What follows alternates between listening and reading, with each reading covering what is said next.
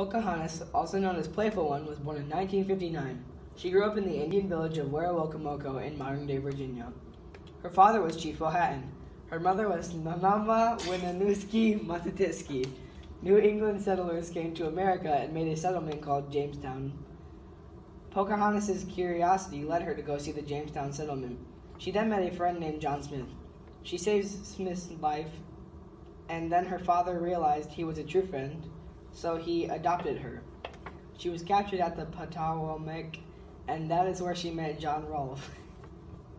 John later went to England, and Pocahontas' father agreed to let her go with him. She then got sick and died. The cause of death was either smallpox, pneumonia, or tuberculosis. Nice to meet the famous and one and only Pocahontas. How are you? Great to be here, Hayden. Thanks. Well, let's get started. Who was your mother? What was it like living your life without her? Well, I live with my father, who was the chief of many tribes. I was always around new tribes, so I had lots of people who would watch out for me and that I grew close to, even though we were mostly in danger because of the tribes in of the Jamestown settlement wanting to take us down.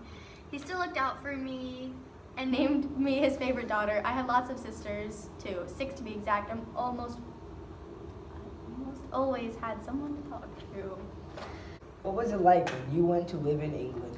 Well, we lived at the chaplain's house and we already knew English, so they taught us how to dress, how to act like a lady in the England religion, then soon got baptized and I had my name changed to Rebecca. We made school for the settlers and the Algonquin Indians, then I got sick and died there when I was 20 years old. What caused you to become sick in England?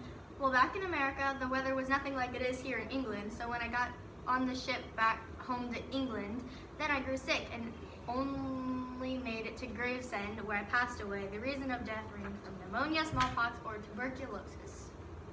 How have you impacted life today? I was one of the many reasons that the Indians and Englishmen started to get along. When I saved John Smith's life on the moment of his execution by laying my head on his, my father realized that he was a true friend and not, not all Englishmen are bad. That started to go through all the villages and my, fa my father was chief and so we started to get along with the English a lot better than terms than we started out on. Thank you for your time today. You're welcome. Oh, hi. Didn't see you there. I just want you to know.